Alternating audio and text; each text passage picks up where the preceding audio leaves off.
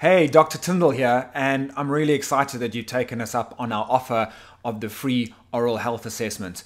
I know as a parent myself how worrying it can be when you notice that your child's tooth and oral, mouth, face development is maybe not go- going quite as you think it should. You're not quite sure. Maybe it's right, maybe it's wrong.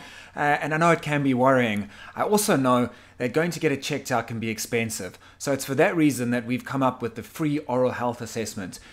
If you bring your child into our Durban North practice, I will happily take a look at your child and let's figure out together what's going on.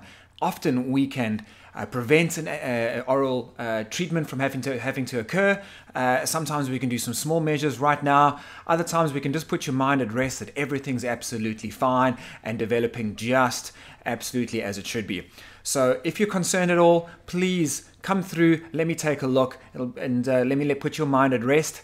I've been in this game for almost 25 years now. Uh, I attend conferences every single year. I'm at the cutting edge of the latest, technologies, and uh, I'm absolutely passionate about orthodontics, about creating bright smiles, about really putting a, a positive, confident gleam on my patients, my clients, my children that I treat onto their faces so they're absolutely loving life and have got the confidence to, to go forward. I really look forward to meeting you. And Lindsay will be giving you a shout a little bit later in the day. Uh, if we miss you, we'll send you an email as well. Uh, and you're welcome to give us a call if you want to set an appointment, if you're, if you're anxious to get going and you can't wait for us to call you.